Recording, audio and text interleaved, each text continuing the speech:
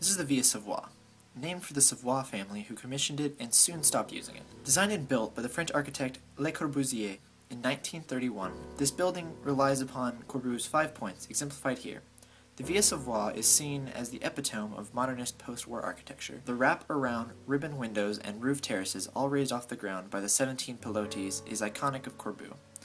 The curved entrance was designed to allow cars to maneuver under the overhanging second floor. The Villa Savoye is often remarked as bearing a striking resemblance to the smokestacks and aft of an ocean liner. Corbu himself was entranced by them. The purpose of the summer villas was to let light in and through. Being outside on the roof patio surrounded by greenery was the overarching principle of the floor plan. There is a galley kitchen, and at the core is the bath. The emphasis on cleanliness, newness, purity, and just an appreciation of the French summer air um, are all exemplified in the nearly all-white exterior. And uh, that, that's pretty much all I got on that. Uh, I hope you enjoyed my little mini Lego The Savoye. Uh, it was a bit hard to do considering I didn't have uh, a lot of white Legos. Alright, well I hope you enjoyed watching as much as I enjoyed making it.